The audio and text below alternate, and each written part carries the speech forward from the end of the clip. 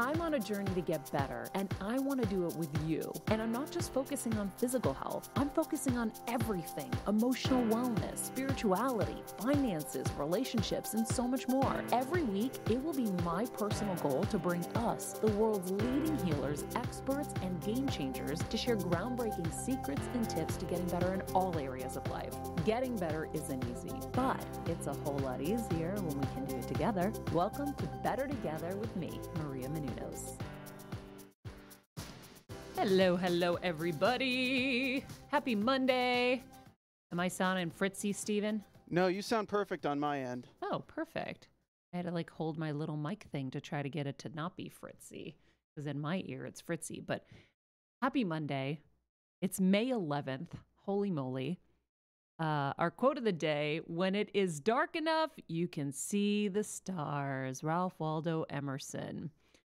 Jeff Graham in the office, Stephen Lemieux in the booth. Stephen, you and Kevin put in a long day updating this uh, studio so that we can properly see our guests on Zoom. Thank you for your incredible effort. And, and Kevin upgraded the beauty of our studio as well as now we're starting to do some fun little kitchen segments in here rather than taking my Zoom camera and going into my kitchen we're just doing it in our studio. So it's been kind of fun. Did you guys have uh, a nice Mother's Day? Did you figure out a way to celebrate your moms from a distance? Always Totally. celebrate my mom from a distance. What did you do? Uh, I called her. Okay. That's it. That was it. That was it. Okay. So we had sent some tulips, which is good. And again, uh, this is part of the great thing about being married is just I feel like I've leveled up my like gift game and just like being a good son game because my wife is you know better than I am in all areas. Okay. Um, but it was great. Honestly, I feel like for my mom, what she wants most is like a great long phone conversation just to catch up. So we talked to her and she's doing well. You know, my parents, all things considered, are um they're holding up. I feel like the one thing that's been hard is you know they don't get to see their grandkids right now or really anyone. Um, Mhm. but it was a good Mother's Day overall. We have a lot to be grateful for. Yeah, my cousins um, had a baby, and my aunt and uncle were telling my parents this weekend how sad it is because they can't really see the baby. It's like, hi, look at the baby from 20 feet away. And so I was reading an article this weekend in some online paper about how difficult it is for new moms in every way. Um, you don't have the help that you're you know, kind of counting on when you embark on that whole I'm going to be a mom journey and you think, oh, my friends or my mom or my dad or whoever it is in your life is going to support you and help you will be there. And then now they can't be there. So um, it's tough. It's tough for grandparents to not have those moments with, you know, their grandkids as well. It's sad. Definitely. It's uh it's I mean this is real. I feel like I know it's been 2 months, but everyone sort of has their moment where they're like, "Wow, I'm feeling the weight of this global pandemic." And I feel like a little bit this weekend Laura and I were like, "Wow, like this is we are in the history books right now. Like this is this is happening." I know.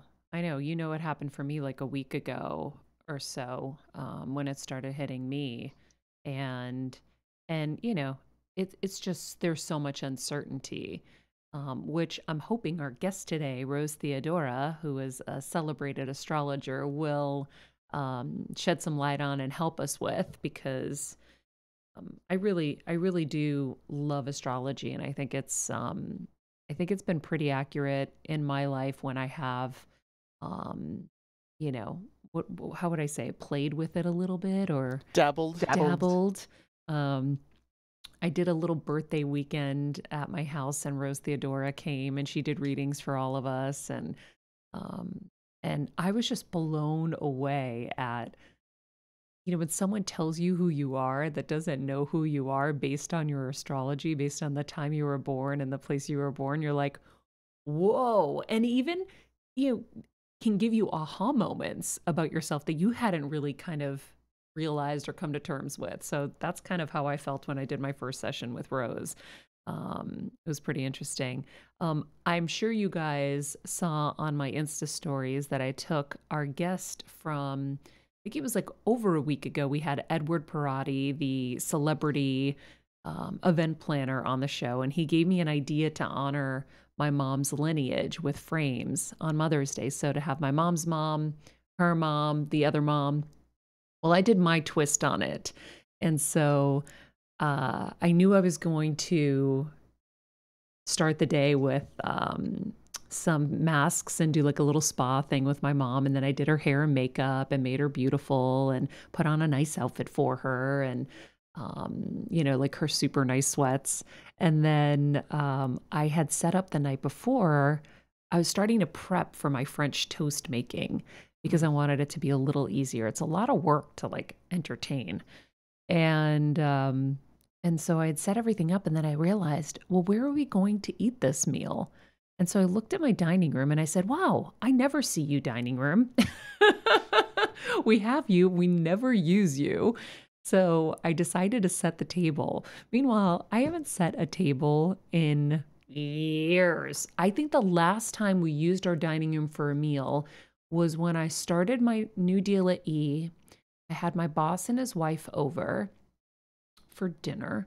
And that was probably like six years ago or seven years ago. That was the last meal we had in our dining room. Really? Oh, for sure. I remember having Christmas and thank. I remember having Christmas dinner in there one year. Years before that was before that. Oh hell yeah. Yeah. Yeah, I think AfterBuzz, right when I started was when you got your deal at E, and I've been with the company for half a decade now. So Oh my god. it's I'm crazy. coming on eight eight years. I Yeah. Think. I'm turning thirty in less than a month, Mm-hmm. and I started here when I, I started with AfterBuzz when I was 22. Crazy. Yeah. Yeah, I used to use the dining room and I would like rent big long tables and make, you know, Thanksgiving in there. And just it became obsolete, especially when we redid our kitchen and we have the outdoor table. And so now we have all that space that we use. And I think I told you guys at some point I'm gonna just, you know, ditch everything and make it into my office because it's a it's an unused room. But we did use it for Mother's Day brunch. I had set it all up. I kind of like you know it, it if if somebody really took like a close look at like my plateware and my you know things they would be like oh how does that that doesn't go but from far away it looked really pretty I thought it looked great. i mean it looked Uh, it looked really pretty but it wasn't like you know how Pinterest or any of those people would set those up but um but my mom was so surprised that she hadn't seen it and um you know we were just like kind of filming it all and so i I set that up so we had like a nice brunch location. I made the fresh French toast. And then I, last minute in the morning, I woke up and I thought about the frames and I was like, oh, okay, I'm going to go grab frames and put them on the table. So I put in front of my mom's seat, I put a picture of her mom. In front of my dad, I put my dad's mom. And then in front of Kevin, I put his mom so that we could celebrate all of our moms. And you guys, it got so emotional. So I said, then I took it up another notch and I said, okay, guys, you know, as we were eating our French toast, I said, why don't we go around the room and share a story or a memory that um, we want to honor our moms with? And so I started and I talked about how my mom sacrificed any free time she could have had to drive me to modeling gigs and things like that to help me pursue my dream. And, um, you know, how she protected me. She was such a hawk. She knew, like, if I went in on, all right, one example was I went in on audition, can't talk. I went in on an audition and uh, it was for this commercial for a big department store. I won't name it. And um and I was supposed to be in like a bikini. It was like a spring summer sale. And the guy, the camera, the director or the photographer was like, "Oh, you can just change right here. I'll leave." And my mom looks at the camera. She sees the red light was on, Ow. I hate that. and she goes, "We're out of here." And so, anyhow, um, you know, people are going to try whatever they can because they're scum. And so my mom always protected me. Anyway, so I shared my story. Then we go to my dad, I mean, to my mom. And my mom started just sharing about how my mom, her mom was just the nicest person ever, which I had the privilege of getting to know my grandmother. She came to visit um, two times from Greece, and I was scotch taped to her side. I was 13, and literally, I was not only scotch taped, I was velcroed, I was in a straight jacket with her. I was so glued to this woman. She was like the greatest person ever. And so I was like, I second that. And we're all getting emotional. And then we get to my dad, and my dad just starts wailing, wailing about his mom and how, you know, how much he lo- she loved him and how guilty he felt about certain things like you know that he you know she she passed away alone in the village and and you know all these things that like had been pent up inside of him. So now like we're all hysterically crying. And i'm like dad you were like 22 and you built them a house. Like you built your mom a house. Like nobody else did that. You did that and so it was it was really special and it was cathartic. And then we got to kevin. I thought kevin was going to be comic relief so i i facetimed in his mom so she could have that moment too and he talked about how she you know gave him a camera to make movies when he was like six or seven and encouraged his filmmaking and his writing and and you could tell his mom is like a very tough woman um, but you could tell she really enjoyed it because she normally would have. She started to crack jokes at the top, and then when he started saying it and he was serious, she, you could tell she took it in. It was really moved by it. So it was very moving Mother's Day brunch at our house. That's awesome. Yeah, I like that a lot. it was. Um, it was really cool. It was really cool. I feel like it's so interesting that like some families are very sentimental on Mother's Days and, and different holidays, and some families are just completely not. Like, but it's different too in the dynamics. Like I'm, I'm not used to people not having a close relationship with their grandmother. Like my grandmother on my mom's side, I saw every year. We had such a close relationship. So when she passed, it was like a really big thing for me. Um, but then like with uh, like friends that don't have that relationship, it's it's kind of alien to me. It's just like people who don't have good relationships with their siblings. So my family, we never did much for Mother's Day. It was all right. Let's have breakfast together. Let's make mom breakfast in bed. But we never like went through those sentimental things, and I kind of feel like we missed out on not having traditions or or rituals that we do every every year. Yeah, I don't think that there should be a pressure, but like, because I've never done that. I mean, we've either taken my mom out, or if I'm not in the state or in the same place as her, I'll send her flowers. So I had sent her flowers as well, and um, and and stuff. So and I had like a little gift for her and everything. But you know, we do it differently every time. My dad did crack a joke at the table. He goes, you know, for Mother's Day, everybody they do so many things. For Father's Day, nobody does anything. And Kevin goes, no, no, no, they give you a hammer. He goes, yeah, they give me a drill. so true. And so I'm probably going to do the same thing for Father's Day. Um, maybe a different way, but yeah, I think you know, you do what you can and when you're inspired and Edward, you know, on this show, this is why I love this show. You when you know better, you get better. He gave me an idea. I took it, I made it my own and um, he inspired me to do something special that was meaningful and I do I do try to do meaningful things like for birthdays or whatever. Um, you know, and and sometimes I get tapped out. Like I've I've surprised my parents with a home. I've surprised my parents with a new car. I've surprised, you know, I've done so many different things along the way that sometimes it's hard to top things. You know, you Mhm. need new inspiration and stuff. So um, you know, I never got to meet my dad's mom and I'm, you know, I get so sad when I, you know, hear his, you know, his story. She's I mean, I come from tough tough genes. Like tough. Like Oh my- walk ten miles up the road both ways, uphill in the snow, kind of. Just like I mean, my grandmother was like 90 pounds soaking wet, and she would carry a suitcase that was bigger than her and probably weighed 120 pounds. And she'd be like, No, to my dad, I got it. You can't, it's too heavy, you Oh. know, and just, you know, the life that they lived in the village was so hard. And, you know, it's just, you just think about your roots and you realize, oh, that's where the toughness just kept getting passed down and passed down. And it's interesting. Yeah, it was a really special day, and I'm I'm really glad that we got to have it. And I don't think if we were in quarantine, it would have been like that. True. Do you think they'd be So- back in Connecticut? They might have been in Connecticut. Um, but even if we were together, maybe we would have gone out because, you know, for my mom, it, it might be nice to like get a new environment and and do something. And then it wouldn't have been as special because there's people around and whatever. Um, you know, homemade things always feel so much more special anyway. So, um, but it was really nice. Really nice. I did make the um, lemon buttermilk pancakes that Giada taught us about on Did Thursday. you? Yeah. Weren't they amazing? They were really good. Yeah, I, I did a good job. It's funny. On my first little batch, I forgot the oil. Uh And I was like, these don't feel fluffy enough. And then I looked, and that was the reason. Then the rest of them were like this big with fluff inside. They Oh, were, wow. Laura was very impressed. I will say this.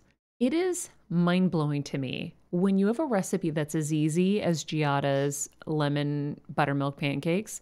Why we use boxed pancakes? Like now, I'm kind of like, oh my god, her pancakes were so good and so thick and so delicious, and it really wasn't. A, it wasn't a time saver to do it the other way because you were you're doing the same amount of work basically. totally. So, yeah. Mm-hmm, I think just cooking together is kind of a fun fun thing to do with your family. yeah, And so, unless you have the family that you can't, like, uh, it's like I can't. I've I've tried cooking for my family, and I can cook for my family. But the moment you try to bring them into like, let's all cook together, it is a nightmare fest of everyone just yelling at each Yeah. other. Oh my god. Well, I um yeah, I'm grateful to this show because I wouldn't have had that idea on my own. And um and I'm learning every day. So here we go. Let's learn about uh astrology.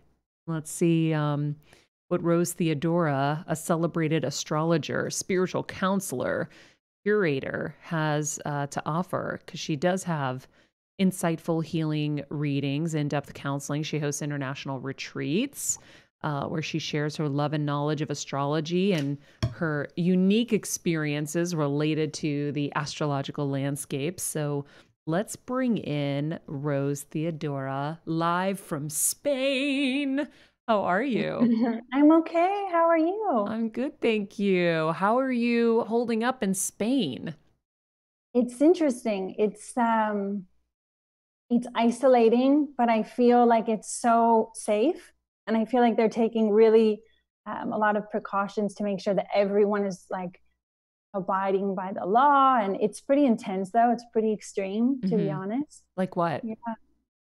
Like we have curfew, we have certain times that we can go out. Like we cannot, in comparison to the States, we cannot go out at all. Um, yeah. Wow. So we've been, yeah, we've been stuck in the house for two months, and slowly, as a central government, uh, they call de-escalation here. People are able to go outside uh, between certain hours, so they're protecting the older people by allowing them to go out during the middle of the day, and um, anyone under 60 years old cannot go out until 8 p.m. until 10 p.m. or excuse me until 11. So there are like there are phases that we're reopening stuff, but it's slow and it's wow.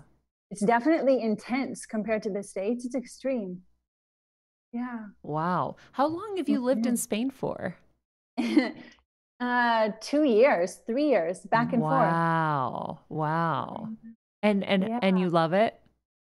I love it. I love Europe because I love to walk and I just love the like the lifestyle so much more. And even before moving here, it fit my lifestyle so much in terms of eating and walking and sleeping and relaxing and meditating during the middle of the day. Just completely fits my lifestyle compared to LA where you're always driving and you just feel like a little bit spent. Like any to go anywhere in LA takes so long, you know, and here Yeah. it's just like you get on the bullet train and you're there. You can go anywhere. You can hop on a flight and go Paris or wherever. Well, I'm thinking for all of the people who are listening that need a life change, not even just me. I'm just I'm fascinated by you know the idea of moving, but what do you think the cons are? Like those are the pros. What could the cons be for anybody who might be in the market for a change? The cons would be the economy is just it's different. Like in the States, you can do anything. And really, especially in LA and New York, it's like if you have a dream, you can make it happen. Here, it's so much more logical and You have to really have the education to do something. So people struggle, I think, as far as purpose goes and doing something that's really creative. It's much harder to manifest um, your dreams, I think, in that sense. The other con I would say is that just so traditional. You know, you can really feel like even in Spain, uh, I didn't grow up Catholic, but certainly Christian, and you can just feel like the heaviness of of Catholicism and thought, and, and it's beautiful on one hand, and on the other hand, it's it's very restrictive to let's say younger people who want to explore something or they want to live their life in a different way. They're kind of bound by these uh, these mm. old traditions, and I think that that's hard for some people, especially the younger generation. Wow. Sure. Yeah. Wow, I would have never mm-hmm. expected either of those answers. I think that's so cool. um, so before we dive into this, can you give the audience that's watching and listening right now um, kind of a two to three minute primer on astrology so we can catch them up? Yes. So, astrology is the cycle of planets and their movements in relationship to Earth. And people forget that, always in relationship to Earth. So, we're bound by gravity and it's a geocentric system.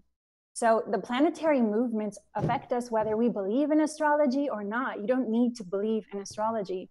Um, astrology is the way that we process the planetary changes, whether those are retrogrades, whether the planet is Earth is moving past another planet. Astrology is a way to look at our relationship with the universe. And it's not a belief, it's happening. And there's a reason that it's an ancient art and it's existed for so long. You can pretty much pinpoint what anyone has been through in their life just by consulting the planetary arrangements at their time of birth. So that's what astrology is looking at the arrangement of planets, either now or looking at them in history. You can go back and look at events of the arrangement of the planets and see what do those planets represent and how are they affecting events on Earth and when it comes to an individual's chart, you can see that it really, if you think about the planets as like magnetism, it really aligns to a person's events in their life and their personality. And there's a reason that astrology's existed so long. Does that answer your question a little bit? yeah. that would. Is there science behind astrology as well? Called a pseudoscience, but I really truly believe we don't have enough evidence yet. It's like science is only um, proven until it's disproven, right? We have a scientific fact until it's disproven. So we don't have enough evidence for astrology yet. And even things like dark matter, which is the majority of the universe, like the scientists can't even define dark matter. So I, to say that astrology is a pseudoscience, kind of, but it's also an art form. And there's such a mathematical way of processing it. Like you have to be so accurate in the mathematical calculations. And for me, it, it is a science, but I think we will find proof as time goes on. But right now, people are just like old forms of astrology are coming back. And I think people are looking at astrology different. It's no longer this psychological way of looking at a person's chart or dumbing it down. There's so many more elements history that are starting to come back. Like astrologers are starting to practice a synthesis now.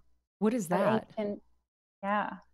So ancient astrology is very, very, it's called mundane astrology. And it's really about like looking at the facts and not sugarcoating things so that people feel comfortable, not saying, it's okay that you're going through a hard time because it, it was happening for your growth, you know? It takes away people's free will to some extent. Like we all have free will. We all have the free will to choose how to feel or choose how to think.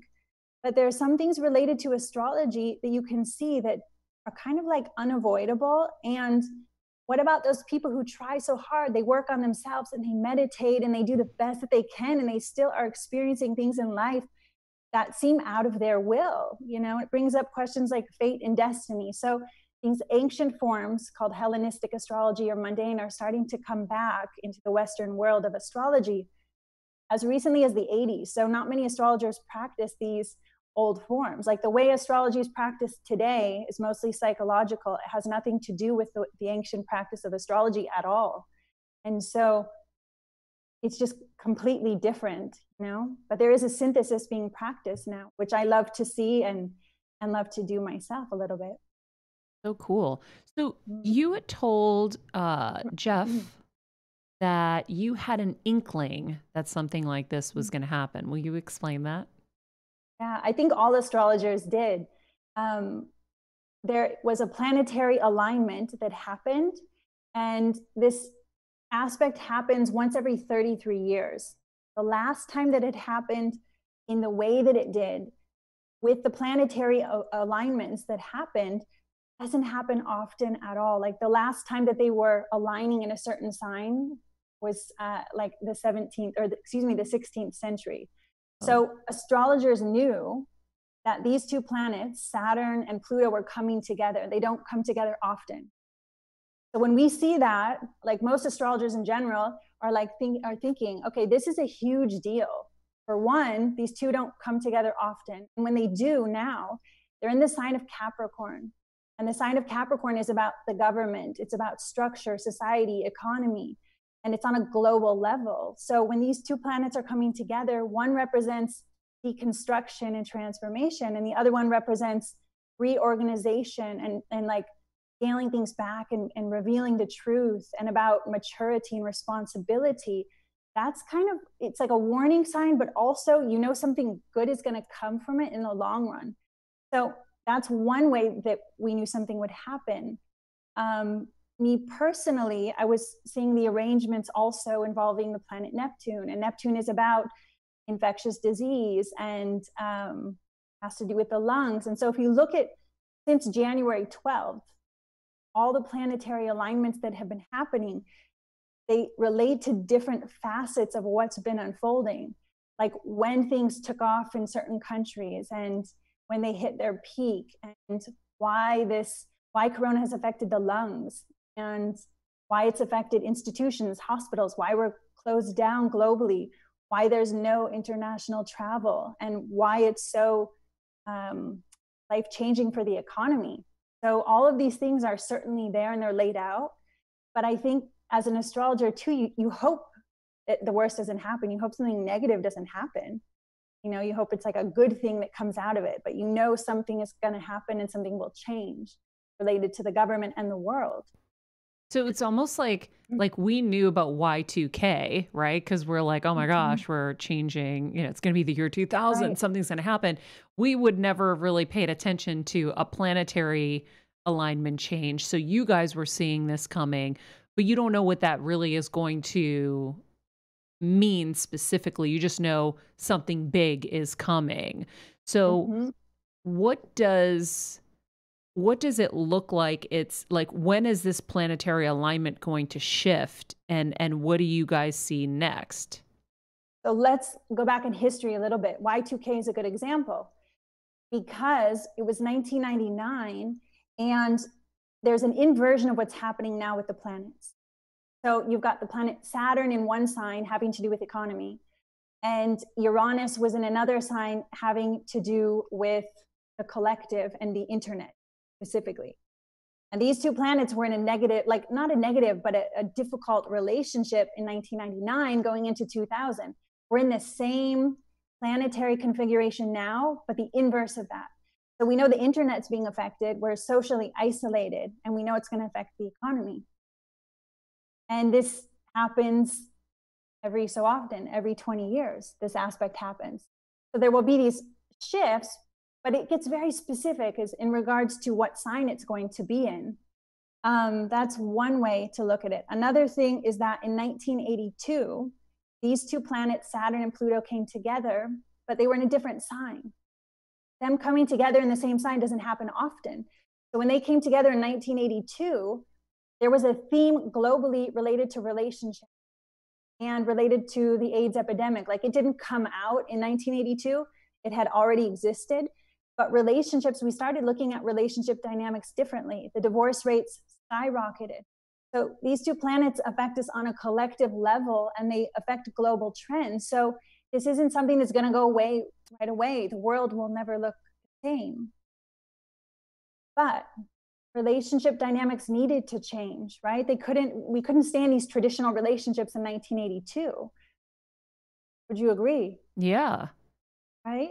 And the economy can't stay the way it's been, especially like things that happen in China affect us in the United States. We can look the other way, or, or perhaps we don't even know, but we have a responsibility to look at the planet and the animals and everything that's happening on a global level. Like we cannot look the other way. So that's what this aspect is about. So when it comes together, these two planets, it creates an event.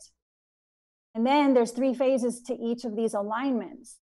So it's going to slowly unfold. It's not like we're going to be quarantined forever, but this is changing the world. We're going to care more about how things are done, how things are allocated. Who's is, is the central government have control or do more people have a say?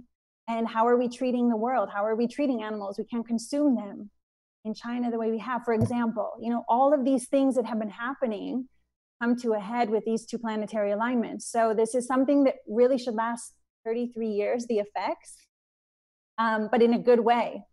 You know, medicine's going to change the way we deal with healing, the way we treat doctors, the way we're equipped for medical facilities is all going to change. And thank God. It seems very negative right now, but that's what that's how transformation works. It's like even if you are doing inner work on yourself, you kind of have to deal with with your dark side of those shadow sides, right? Of fear, and you overcome them, and then you feel better, you feel enlightened, you feel more empowered, and that's what this is about. So, okay, but here's here's a specific that I want to know because you know when we're going to shift out of those planets, and and now um Pluto was it Pluto and Mars that Saturn. were in Pluto and Capricorn? Saturn. Pluto and Mhm. Saturn.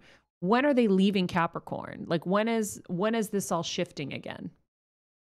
So Saturn moves into Aquarius in 2023. Holy shit, we can't wait that long. No, but it's not. But that's not how it works. okay. It doesn't. It doesn't say. It's just basically like here's an event because the the world is out of balance. So there's a natural homeostasis with the planets. Like even if we're not on Earth, the planets are still going to be revolving around one another. It always works that way. So we're a part of this cycle. And it's introducing an issue that's out of balance. It says, okay, this is out of balance. You guys need to get it together, right? And so we're working on problem solving and solution. So this is, we're already like moving towards solution, but it's going to take a while. People have different opinions. There are different economies all over the world. So we're going to handle it differently. But you can expect to see a shift after the new year. And then it will slowly resolve for the next year. So realistically, I would say a year and a half. Okay, and what do you see in that shift when you see how the planets are going to be aligning in in January? What do you see then? there's an eclipse happening so it's it's not just those two planets it's all of the planets and also the eclipses Mhm. and eclipses are significant because it's an alignment of the sun the moon and the earth and it brings about unexpected events if you look at history anytime there's been a solar or lunar eclipse there's been a major event a world event that's happened 9-11 happened on a lunar eclipse uh, princess diana happened to death on a lunar eclipse so there's going to be an eclipse on December 20th, paired with all the planets moving. So Jupiter and Saturn are going to move into, or Jupiter will move into another sign, and Saturn will move back into Aquarius. So when they move into Aquarius, we're going to see themes that are more collective related to the internet and how we deal with information and how we consume information and what is the truth. And that's how I see that playing out. And then Oh. I see us finding solutions. Well, maybe that is connected to the election, right? Because completely. a, a new president will be sworn in in the new year. hmm Interesting. Huh. Okay. We have okay, so here's what we have on deck. Um, for those of you who are listening, we have three listeners who are going to get a reading from Rose Theodora. Before we get to that, I'm going to let Stephen ask all of his burning questions. Um, I'm also going to remind you guys that um, if you haven't already become a Patreon member, because I forgot to mention this at the top of the show, please join us. Um, we have amazing shows we're doing over there that are just for our Patreon members, and um, any support you can uh, give would be greatly appreciated. So join us over there. Um, and um, rate, comment, subscribe when you have a chance. We love reading your comments. Um, they fuel us. They they give us life and give me so much joy. I'm so grateful for all of them. Um, Stephen, go to your burning questions. or at least one of them. Oh man, I have like I have like two or three questions. but Okay, we go- got to be quick. I'll I'll be quick. Um, one of the main ones is I have you you talk about how you know Capricorn is associated with toxol- toxicology and like different diseases and things like that. When was this decided? and Uranus is, I think. Neptune, Neptune. Oh, Neptune. Neptune. Shit. So- we got it all got it wrong. So- okay. is this like okay? A bunch of a bunch of people back in the day were just like, all right, that planet, let's just associate with this, and then moving forward, that just stuck. Or is it like, okay, now that we're in the 20th century, how do we ascribe new technologies to these different signs? How is it decided what is associated with each sign, Ooh, star, great planet? question. Yeah, because we didn't have internet. We didn't have all Oh, that stuff before. Oh, good. Well, and Neptune is not associated with the internet. So, first, it happens, it's how they're discovered, how the planets are discovered. And Neptune was discovered when looking for another planet. And so, astronomers ascribe meaning based on the conditions of how it was discovered, and then through a lot of observation and a lot of studying. So, we've always, as human beings, observed the planets and how they affect humans. And I do think it's a symbiotic relationship. I do not think it's one sided. And that might be hard for us to grasp or understand, but I truly believe that in balance. So the planet Neptune itself, it's through observation that it, and it's associated with so many different things. It becomes associated with disease in certain arrangements. And as planets are discovered, they're added to the, the zodiacal wheel. And so they take on another meaning. So there's a lot of factors to consider. Another one of them is that Neptune is so far from the Earth that it is related to the collective, not a personal planet. So it does not affect us on a personal level. So those of you who are Pisces listening, Jeff, right? Yeah. Your your uh, traditional ruling planet is Jupiter, and a lot of contemporary astrologers ascribe meaning to those outer planets when maybe they shouldn't because they are such recent discoveries. So that's how it's through a lot of observation and testing and the way in which the planet was discovered and then how it's introduced into the zodiacal wheel. So, how does distance play a part then? Because if you're going to say that Neptune is so far away that it's not really, you know, making a difference, but then everything else is decided by the stars that are millions of light years away, I'm just like, because what, what what's always interested me is more the philosophical aspects of astrology versus the scientific. Because for science, you need to test against it. So, if in your in your beliefs, like, how do we test against astrology in a way that would prove it to not be a pseudoscience? You have to the more i study it the freakier astrology becomes. And it's something i've studied my whole life. Have you studied plato and aristotle? Yeah. okay. So if you look at the myth of ur do you know the myth of ur? Not aware of the myth of Ur, no. that describes all of astrology. The zodiacal wheel this is by plato. So if you go back in history and look at these early observations and how long astrology has been around it's profound existed since before we can even before we can even prove like the first documented cases of astrology are early babylonia. So when i talk about neptune being a faraway planet you have to look at the ecliptic belt first of all how the planets move. Then when you get to the outer planets you have to take into consideration the asteroid belt which exists between jupiter and mars. Once you go past the asteroid belt those are considered outer planets and outer planets are too new, in my opinion, to consider interpreting in an individual's chart. I don't think they give good enough information. So, answer your question, I think people need to study, study, study, study. You have to go so deep into philosophy and history to understand astrology. Some of your question?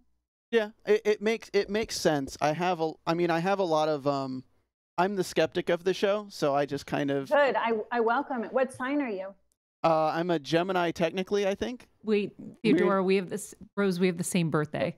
June 8th. Yeah, Yeah. me and Maria have the same birthday. Yeah. I love I love how you remember. You're so funny. So like I love I love the aspect of testing against it and and finding what is the science that could prove it because as you said with dark matter it's like one of those things that's out there we know it exists but we haven't been able to test against it. The thing with mm-hmm. astrology is is I've I've I'd love to see some studies that you, you've maybe compiled that kind of show data on a large scale cuz most of the studies I've seen show that it's completely random. But Totally. when you look into yeah I- Go ahead. Sorry.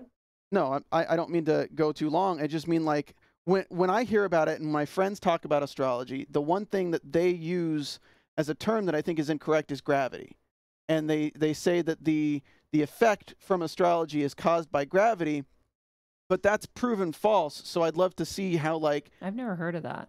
well because no, he's he's right, and and I love what you're saying too because as an astrologer, I'm a skeptic to in my own right, even though I'm an astrologer.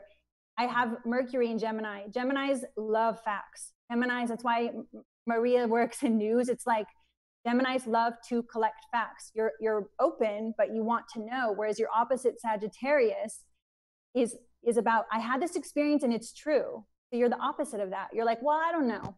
Just because I had that experience doesn't mean that it's it's true. So when it comes, notice what I said about gravity. I said that we are bound by gravity to this planet. But astrology is not gravity. Astrology, in my opinion, and from studying, is that it's magnetic resonance, which is the way that the planets move together. So it's not gravity. And, and I do think people should be skeptical. I think that the way astrology is practiced today is too based in, on, in psychology, it's too superficial, and it is it just it's it's almost disregarding that fact that i talked about earlier about free will like what is free will cannot just feed people excuse my language you cannot feed people bs and reassure them. Like some things are out of our control and you have a choice to decide how to feel or how to think about it right? That is true free will. You know not all of us would like to lose a parent but we're going to. How do we deal with that? We need the tools to do that and there are many. So I love that psychologists are starting to use astrology because astrology can can basically uh, allow you to see what a person has been through in one second, and it might take years in therapy. So that I think is profound. But there are some elements of astrology and the way it's practiced that I really disagree with. And I, that's why I love and welcome the synthesis of ancient astrology because I think it's going to really change astrology, those who practice it that way. And I'm excited to see what happens. So I really think you should be skeptical about what you read about astrology. You should study it. You should go way back to things like the myth of Ur and Plato. And just, I really encourage you to study uh, its history. I have one last quick question, which is Sure. in in your opinion, what should people use it for? Um, I, I know Great a lot question, of friends actually. a lot of friends are like, "Oh, well, I'm dating a guy. He's a Gemini, and I'm gonna just dump him because I found out he's a Gemini." Or uh, No, my it's, Sagittarius. It's true. There, there's so much. Uh, sorry, there's so much. Um, what do you call it? People are. What's the word? Discriminating against certain signs. That's. It's true. Do you, how should people use it though? Do you think that's a valid use of it to decide your future No. life partner? No. And I was thinking about this before we even spoke. Compatibility has nothing to do with your sun sign. Nothing. what? Nothing. No way. Everybody uses it for that. That's so funny. because people don't know and and people are the public is not educated and you're you're being you know shorthanded it's just not healthy so first of all in relationship i want to say that there needs to be conflict partnership and relationship is about growth and it's sometimes about having that person that's your support and your partner so relation astrology is so deep in compatibility like if you look at what your partner needs on an emotional level what their communication style is um, what their wounds are, you know, and how you're triggering them, how you can support them. It gets so deep. So I would say use astrology to know yourself. Really study the facets of every aspect in your chart. Really get to know the signs and study trends in society. Like look at its effects. And but most of all, I think it's to know yourself and to really heal. Because if you understand yourself on such a deep level, you're no longer holding other people responsible for your experiences. There's that, there's not that projection factor. That's how I think it should be Mm, used. So true. If you heal, you're no longer using other people. Oh my God. Oh my God. That's so, so true. You're not blaming everybody else for your Right. experience. Damn, I love that. I guess um I also want to know are there certain signs that are more affected by this global crisis? Um, one other thing I want to add to how it should be used yes. too is to study the cycles. Because if we study the planetary cycles, we can say, okay, yeah, we expected this. How do we deal with it? How should we? I, I really feel people can use it in such an empowering way. How should we um, be using it? What? How should How we be using this? Yeah, for you mean this exact alignment for the future? Mm-hmm. Well, the internet and information are going to be huge themes. And you could say, well, that's logical because, of course, you know, we're in this situation. But no, the way that the planets are moving into Aquarius, there is going to be both good and bad aspects to that. And knowing that, we can manage it. We can say, okay, so maybe one of the representations of Saturn moving in Aquarius with Jupiter could be that, you know, people want to form these communes and cults. And maybe this maybe this might happen on a big global way, you know, on a global scale. Let's look at that. Ah, that's How- so crazy. I literally just told a friend the other day. Now, forgive me, I don't know exactly, I, I don't know enough history about communes, but I said, I go, I feel like we're going to all build our own little communes, like where we live together, we all work the land, like we, you know, we have our own little system. And they're like, mm-hmm. oh, yeah, totally. We've been talking about that too. And the fact that you just brought that up is so strange it's because it's it's part of the collective we're all connected yeah. i mean you guys know quantum entanglement and quantum physics we're all connected and it's neurological and we think we're so separate and everything doesn't affect us everything affects so the fact that you are thinking about communes a lot of people you know are farming what does farming look like why are there these trends about people returning to the earth and wanting to have their farm and moving to these rural areas again. You know, this is all there. It's all a theme. Mm-hmm. And so I think if we can use it in that way and also anticipating with the eclipses over the next eight months in Gemini and Sagittarius, the eclipses alternate for 18 months, then we know the information is going to be huge. The way information is presented is going to be huge uh, news is going to be consumed in a different way. People are going to be more independent. So these are big themes too about what is the truth how what can we trust what information you know people are already so skeptical mm-hmm. there's a mm-hmm. reason that that's reaching a crisis point yeah i'm a journalist and i'm skeptical. I don't know who to trust who to believe. I feel like yeah. everything nothing's real anymore. Like right. that is like one of the themes i had a conversation with with my friend the other day. I was like like what's real anymore other than just us our like flesh and blood right now? Like what is right. real? and is that is that even going to be real for some people? Bananas. So so what signs are most affected by this pandemic? Right. if if any at all i don't know yes always because if you look at the collective themes like the eclipses are going to happen in Sagittarius and Gemini. That means all Sagittariuses and Gemini are going to be the most affected over the next 18 months in a positive way i think Ooh. because your your whole life is going to be aligning to your to a higher purpose of what you're here to be and do on earth and there will be two other signs affected by the eclipses which are pisces and virgos are going to have a little bit yes are going to have a little bit of a difficult time because for example um, i'm just thinking of jeff's chart. So he's going to be thinking about you know where does he live and family stuff and how his family affects his role in the world and he's laughing. Going to affect them in that way. And related to this saturn and pluto conjunction capricorn capricorns have had a wild year. Um, if we talk to any of them there's a woman today who has some some hefty aspects. Oh, um, but basically capricorns are very affected. They are having to they always feel responsible anyway and now they're feeling this sense of pressure. Like they have to just do something because capricorns tauruses virgos are earth signs. They love to plan their life. You cannot plan your life right now. We don't know what's happening they are feeling so stressed and and pressured to make decisions and so we're all affected in different ways. The sign Cancer is also affected right now in terms of family and work as well, and security financially. And then the sign Taurus is very affected by the planet Uranus. So there are some signs that are more affected by a certain arrangement. Wow. Okay, so here's the deal. Um, okay. Rose Theodora was so gracious to um, allow three of our listeners to be read. Um, we are going to go to that next. Before we go to that, I want to make sure for anybody who doesn't have time to stick around and listen that you know you can find Rose Theodora um, on Instagram at Rose Theodora underscore astrology. We'll put her links to her social on um, uh, in the summary.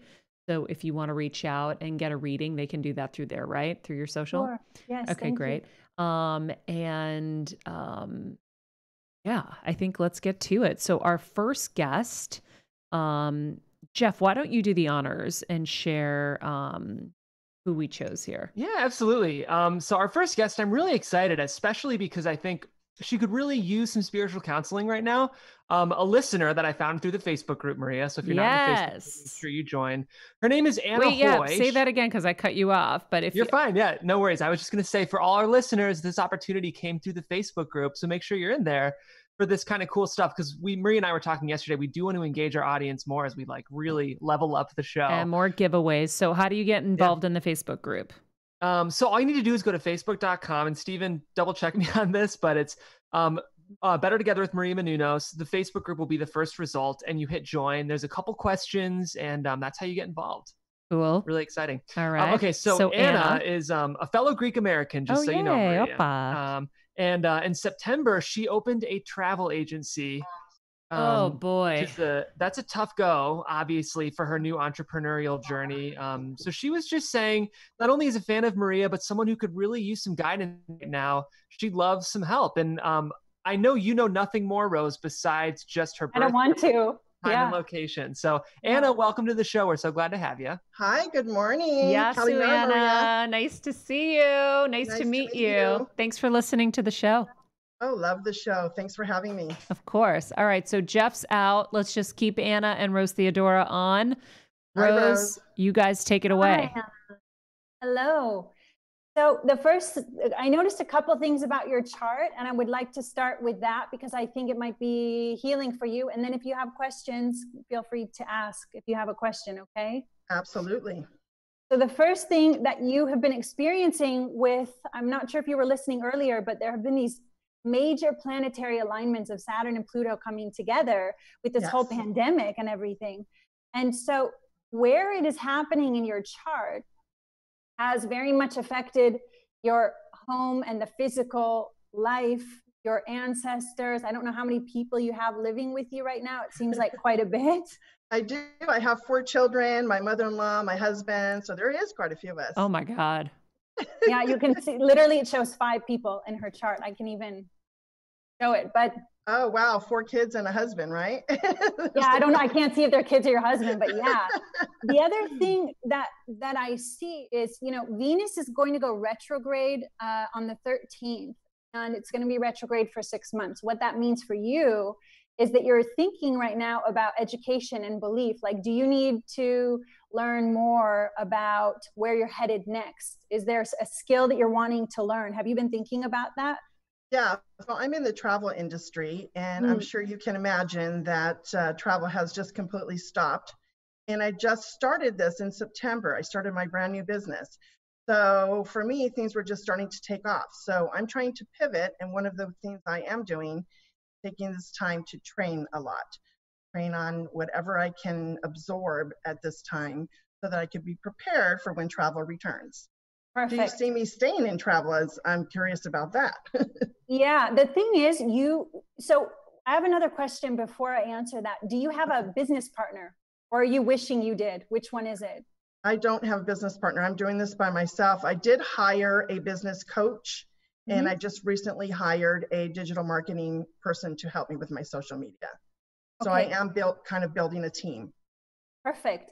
And are you having, because you just had what's called a, your Chiron return, you'll be 53 in July, correct? Yes. Thanks for pointing that out. no, no, no. See, I, am not an ageist. I think age I'm is beautiful. Kidding. That's why. No, no, no. I'm so sorry. I think it's a beautiful. I'm totally thing. kidding, Rose. So but but anyone listening who knows astrology when i say chiron return it happens around 51 52 53 and what that means is you're healing like a lot of stuff. Did you feel before with work that you like there was always something you wanted to do but didn't have the courage and you were like not f- do, doing your fulfilled work? Is this why you are now doing what you're doing because you had the courage during the last year? Yes absolutely. Okay. so it, this really started a couple of years ago and then um, i was in a job that i wasn't loving i wasn't living my passion and i wasn't feeling fulfilled so i, I went to my manager and i said you know i'm not happy. Um, is there anything else i can do here? I have all these skills and gifts and i feel like i'm not growing and you know i'm not being challenged. And basically his response was well do you want to start looking and i said mm-hmm. whoa that means they don't really care about me i am doing the wrong thing Wow. so what I always thought about for years, for three years, I looked into travel business. And I just felt like, well, this is my push. And if I don't move now at 52, I'm never going to move.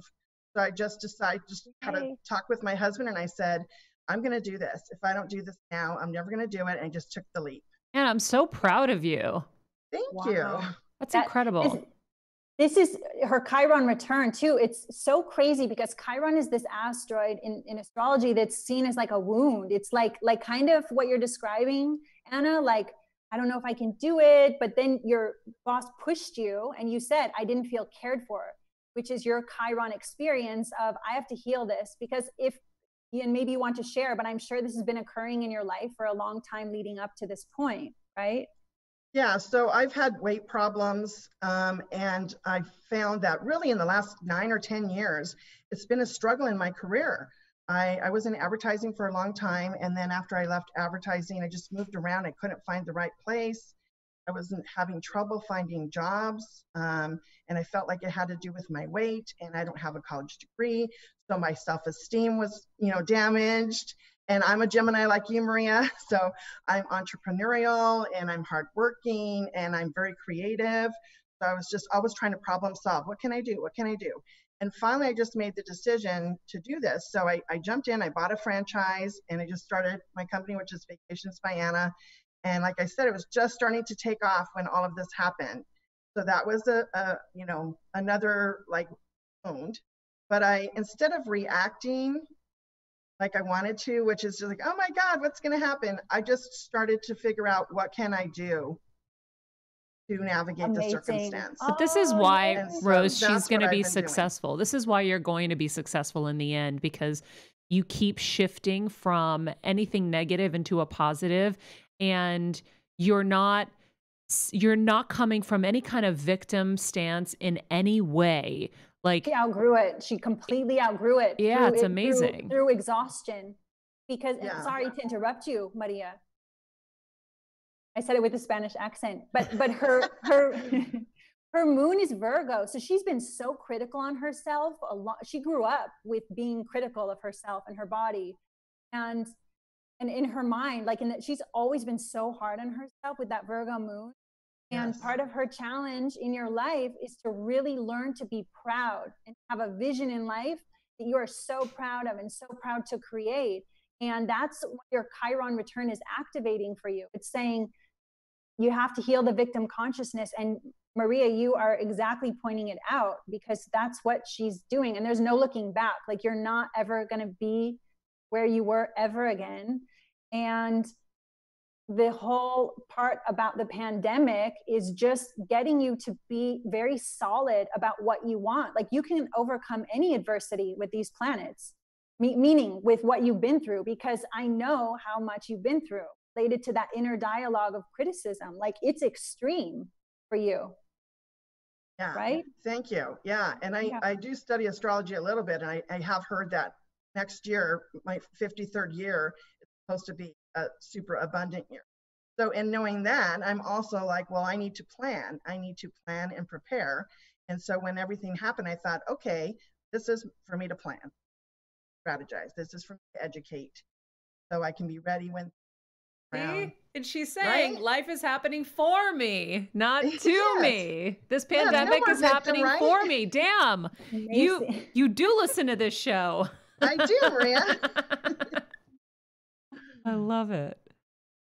So yeah, I'd love to see, um, you know, what you see coming in the next six months. I think you said to the end of the year, you don't see anything changing. So am I Or- doing the right things? Is there anything I should be focusing on that I'm not focusing on? Right. I love that question. And just for people listening too, no one can tell you what to do or what not to do, right? You know inside if something's right for you. You just know it. And, and the beautiful thing that I see with astrology is some people do get stuck, or it's nice to have a focus, right? To check in, but you know, like you're right on track. And what's going to happen is when Jupiter moves into Aquarius, in December is that it's going to move into your fifth house. I'm speaking to you in astrology terms because I know you know and it's helpful for you. When Jupiter moves into your fifth house, you're going to be able to be so much more creative. Like you're so creative and you haven't been able to express that. Like you've been doing the the you've been laying the groundwork to have the business and putting all the financials in place, but now you get to be creative. So that's what I would focus on is okay, yes, you know, it's a little scary. I just launched this, but you do have Uranus, newly in Taurus, conjoined your North Node in the eighth house. And what that means is you are going to be coming into more money the more risk you take because you're learning that you can have a quality life. You're so used to tragedies or like just emotional kind of upheavals, you know, all the time that you're learning you can have a beautiful, calm life. And that is part of this. So, over the next six months, that's what's really going to happen for you. Also, the eclipses are happening in your ninth and third house. Continue to learn.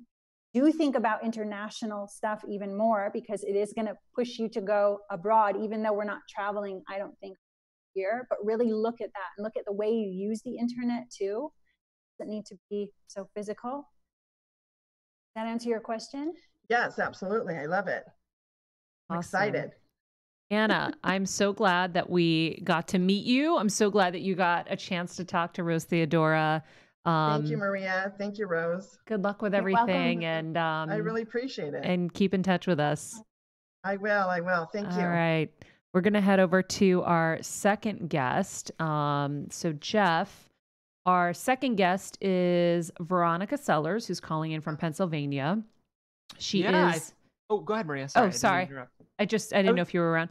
Um, she's a recent college grad who's dealing with the reality of her pre. Well, I don't know if we want to say anymore. Actually, we'll just let. say, yeah, yeah. That's it. more. I'm gonna, I'm gonna leave it at that. Veronica, thank you for joining us. How are you? Good, thank you. Meet Rose Theodora. Ask her all your burning questions. Hi, Veronica. Hi.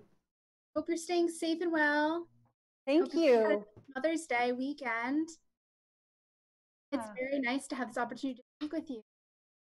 It has been an interesting time having graduated um, with the pandemic going on. I my mindset originally was this is the worst thing that could happen to a college graduate entering the workforce.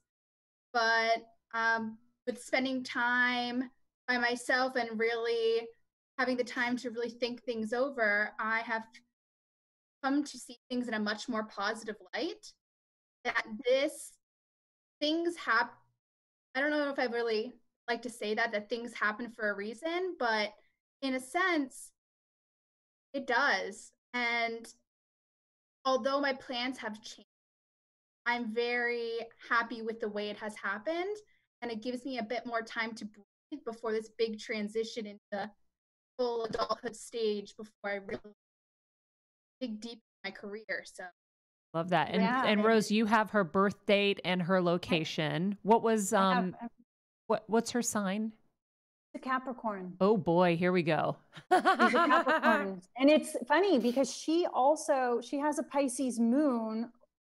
Another guess. I always see when I read people in groups, I always see a common theme. hmm So um, what's interesting is, you know, Veronica, you are so young, like you haven't had your Saturn return yet. And you're so like, even when I'm listening to you talk, she's so Capricorn because Capricorns are so focused on responsibility, right? And like maturing and coming out into the world. And one big thing you have is you've got two things happening. One is your Jupiter return. And Jupiter is a planet of expansion and growth, and it kind of like makes anything bigger that is already existing. So when we look at it collectively, it could maybe, you know, make the virus bigger, which it already did in March. But for you personally, Jupiter is about being positive. So you were born with Jupiter in Capricorn, which means you don't like to get so crazy with, like you said, like you want to manage being positive.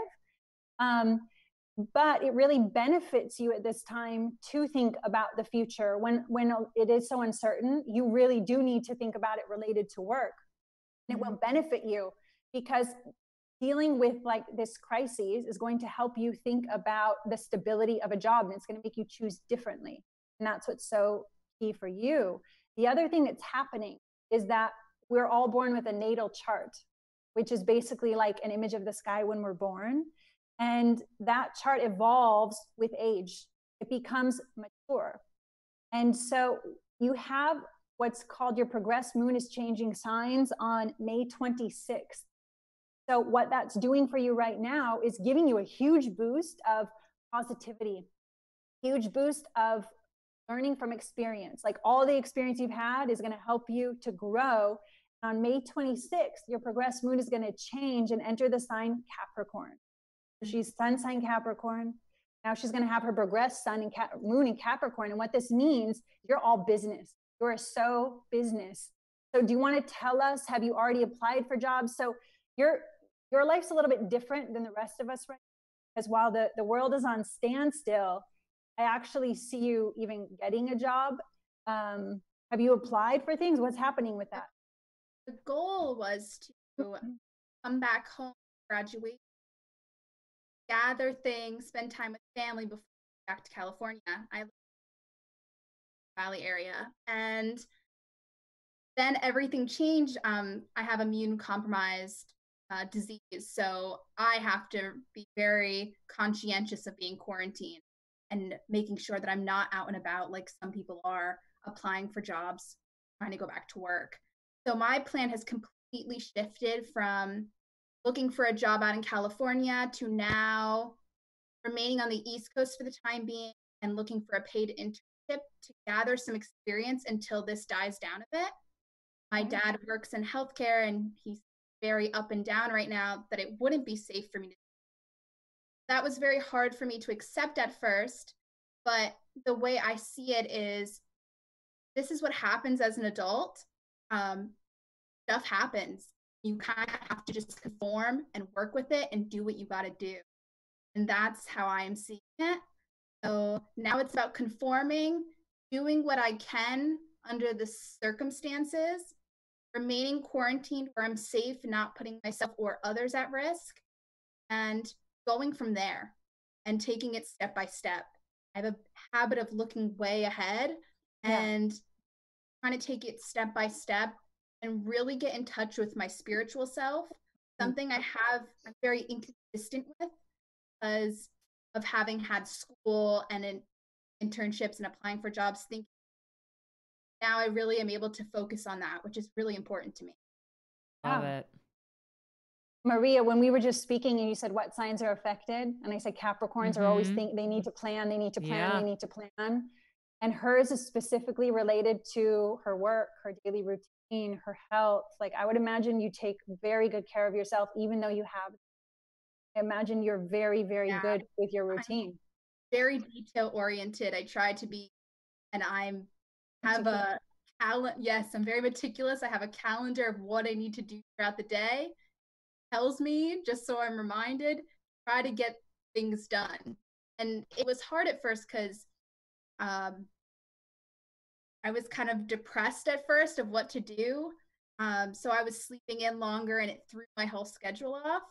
And I told myself, even if I do little tiny tasks that are even a half hour long, I get multiple done a day. That could be five half hour tasks that I got done, and I'll forget about them. And making a list of them. I'm very list organized and checking, trying to check things off. And it's hard to check things off when you can't go anywhere to do anything. But just trying to come up with creative things or just doing anything spiritual, meditating, stretching, things I could do at home. Right.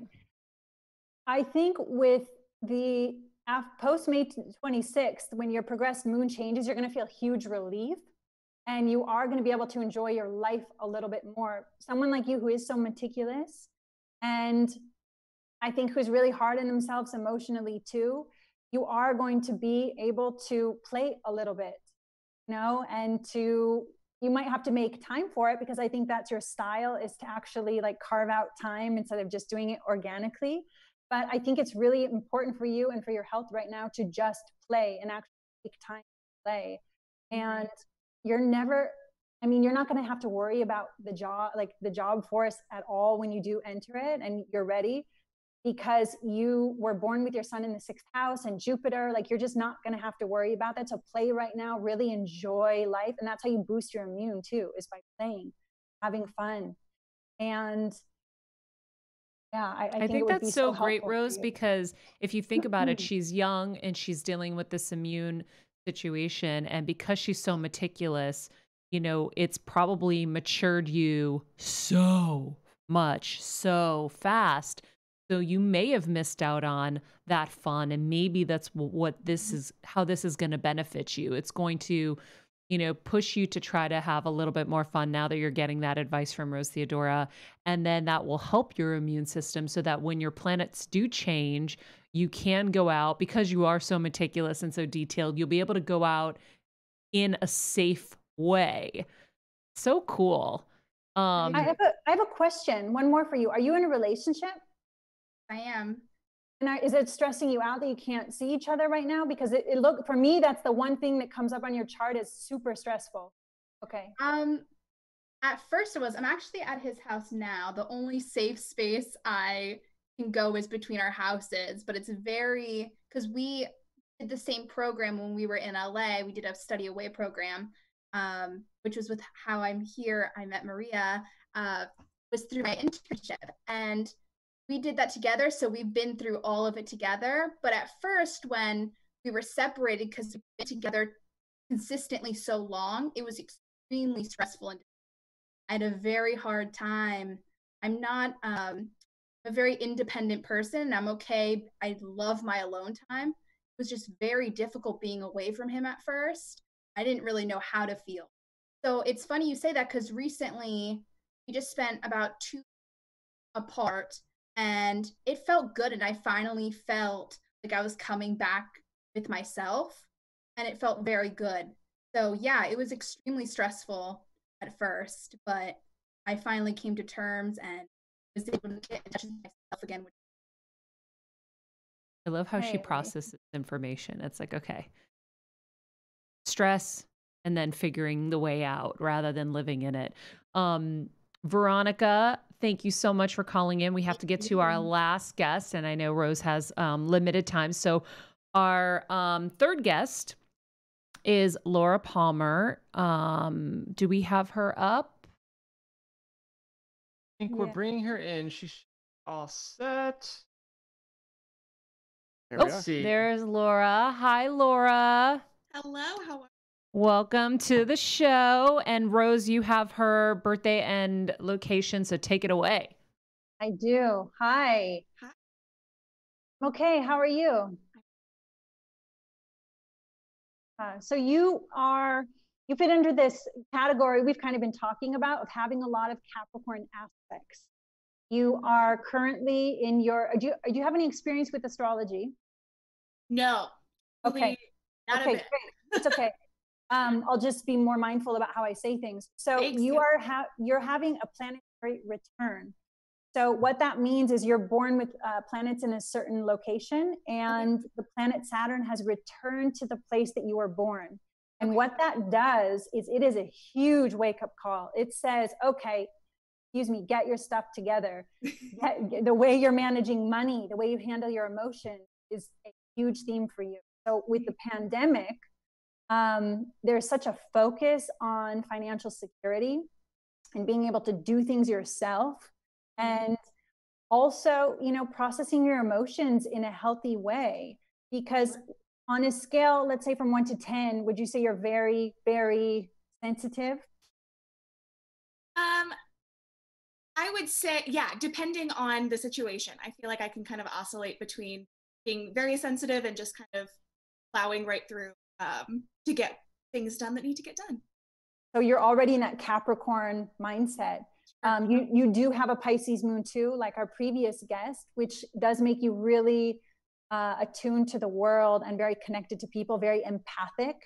So Okay, whether you're able to express that or not, you would feel other people. But I'm trying to gauge how much of that you, you know, take on from other people versus planning your own life and taking responsibility. So do you want to speak to us about finances or what's going on for you in regards to um, what you're creating in your life? Sure. I think that during, especially during the um, quarantine, I feel like I'm taking the time to kind of, um, you know, take the time at home to really kind of get our act together um, in terms of, you know, how we want to handle our finances, how we want to plan for our future.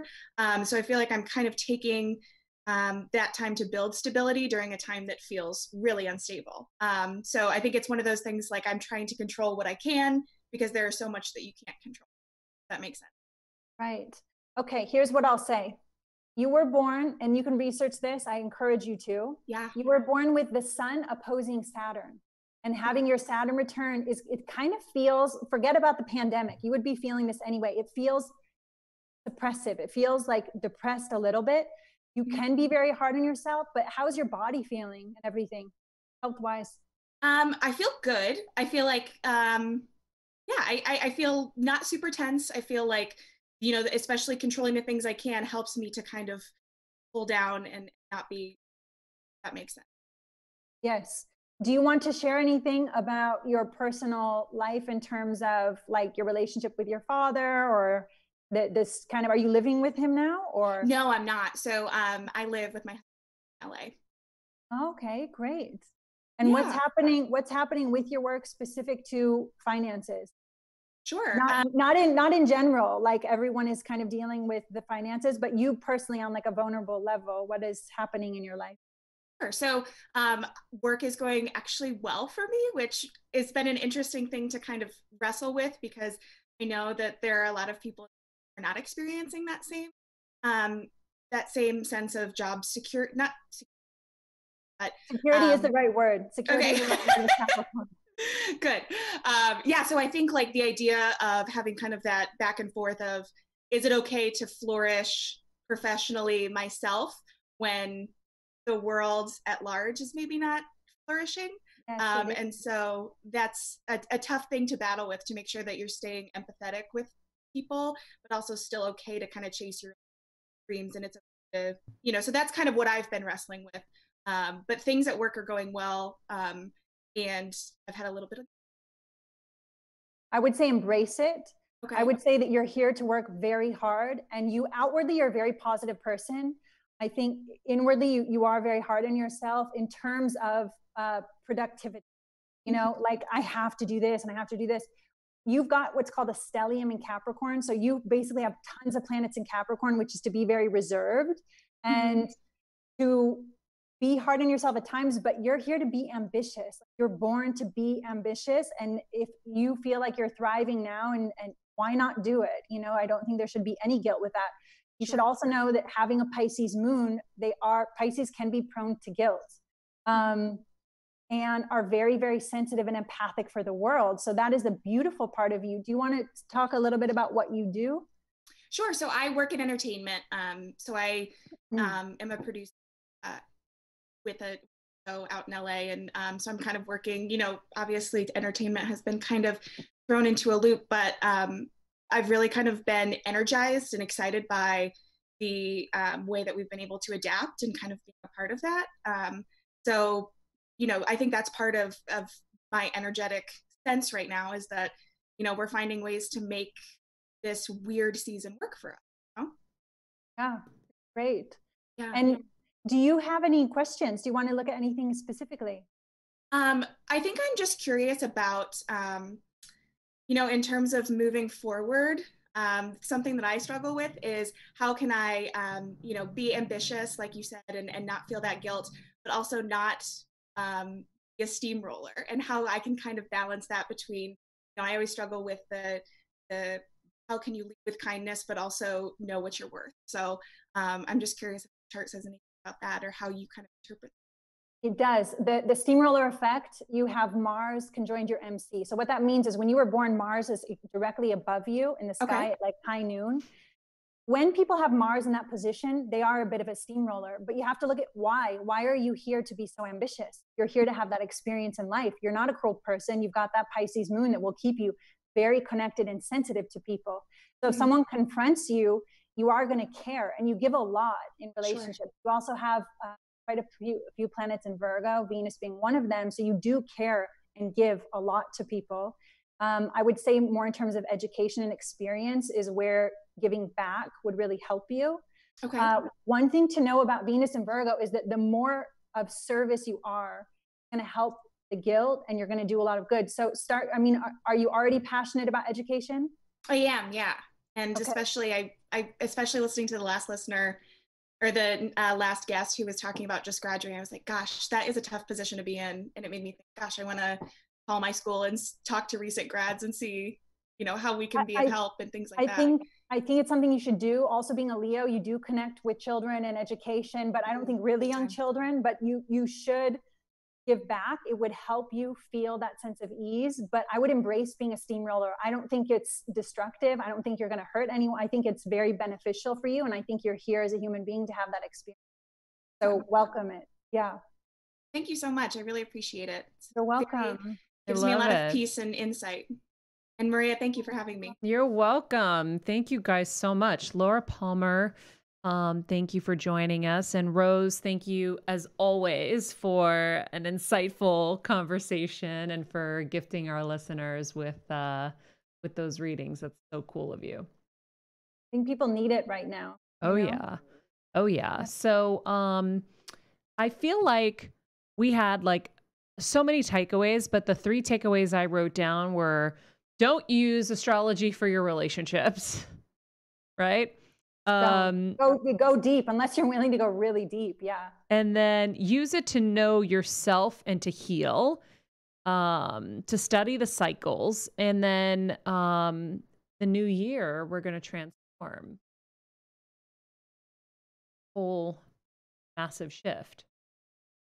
Be yourself. Like really think about why you are a unique individual, what you're here to contribute to the world, and really try to be in alignment with that and be mindful about how you consume media and information. There's a huge theme. Love it. And that makes us perfectly positioned for what we're here to do because we started this every day, well, four days a week, so that we could be a place where there was positivity and growth spiritually, even physically, not have all of that noise that's out there everywhere. So and I don't think it's a coincidence that you are a Gemini and he is a Gemini. I forget his name in this moment. Stephen. And Stephen and Jeff is a Pisces. I mean, that that makes a 90 degree angle. I think that's interesting. That's positive that you guys are all working together during this time. Wasn't my rising Pisces? Pisces, yeah, that's what I was going to say. How funny. Yeah. yeah. So his sun would sit near your ascendant, which is good for work. It's great. It means he shines a light on the direction of your path. Yeah. Oh, I see the light, Jeff, that you lay out.